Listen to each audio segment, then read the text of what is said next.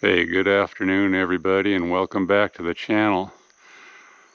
Well, as you know, we've been experiencing a lava eruption up at Mauna Loa. It is still going, but we are all breathing a sigh of relief as it is up on that saddle road area between Mauna Loa and Mauna Kea. And it's expected to kind of slow down up there as it hits a little bit of a flatter area. So everybody here is very relieved, which is good. So now we can get into some regular content. I will keep you updated on what's happening with that, however. So straight into the next video, we've got this 400 watt string, these 400 watt panels tied in series, and possibly that fifth one I'll tie in. But what I'm going to do initially is just use these four panels and hook up that Redodo 300 amp hour battery. So it's a perfect time to switch over this main house battery bank, which is a couple of 300 amp hour lithium iron phosphate batteries from Chins. And lagging a little bit behind as you can see, I've only got about 38% full on the battery bank.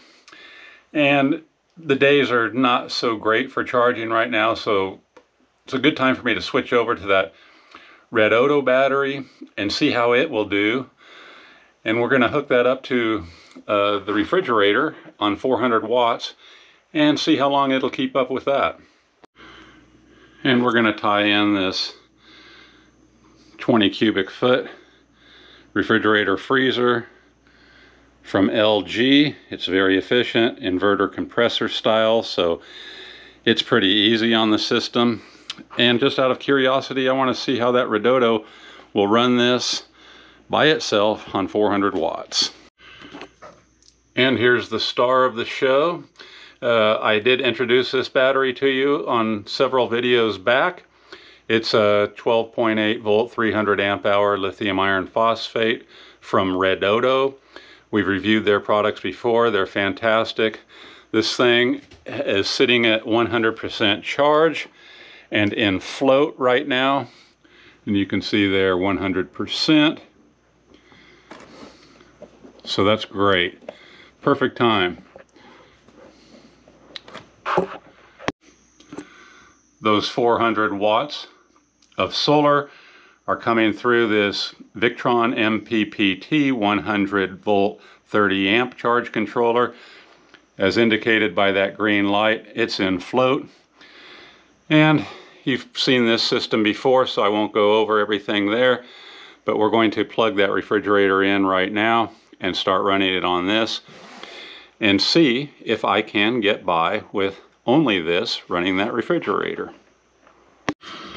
Okay, so now I have the refrigerator plugged in here and it just kicked on for the first time shortly after plugging it in, drawing 55.9 watts.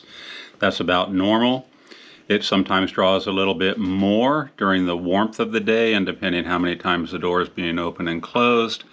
And if we go over here, we can see it has now dropped down to 99.8% full, which yeah, that's not really true because there is power coming in.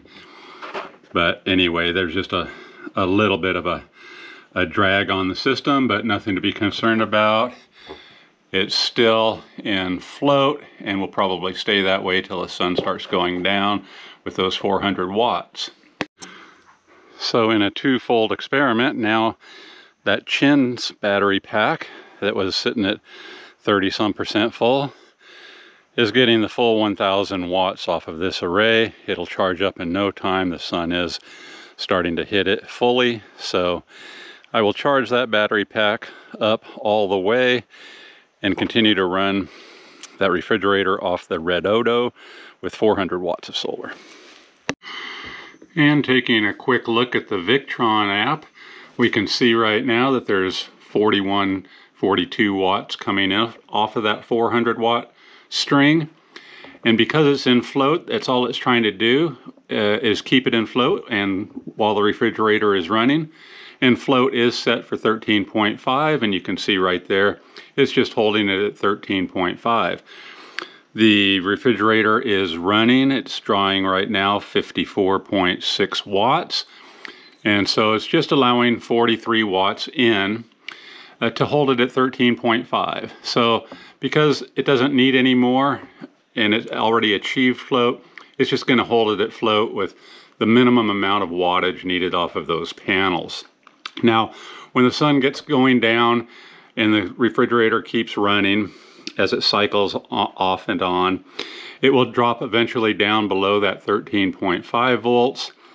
And then come tomorrow, those panels will open up and allow near the 400 watts that are available uh, given the right conditions. So everything's working perfectly right now. 45 watts, holding it at float, 13.49, 13.5. It fluctuates just a little bit in between, still in float, as you can see right there. So looking really, really good.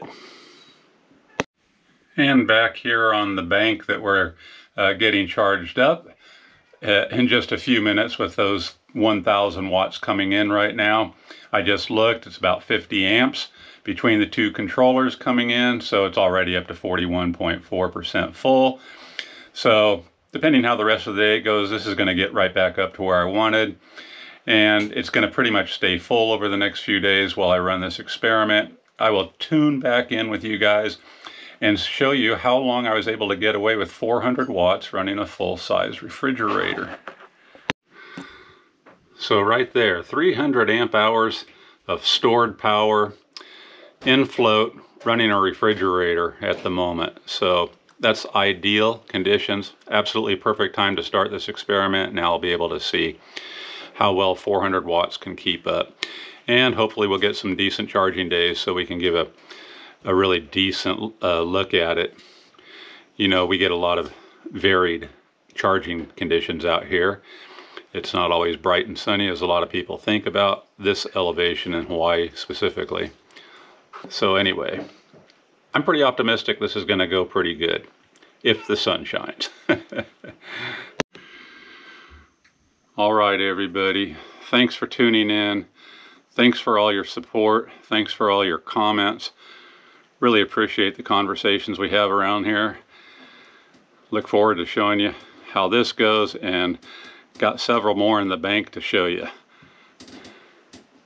Aloha.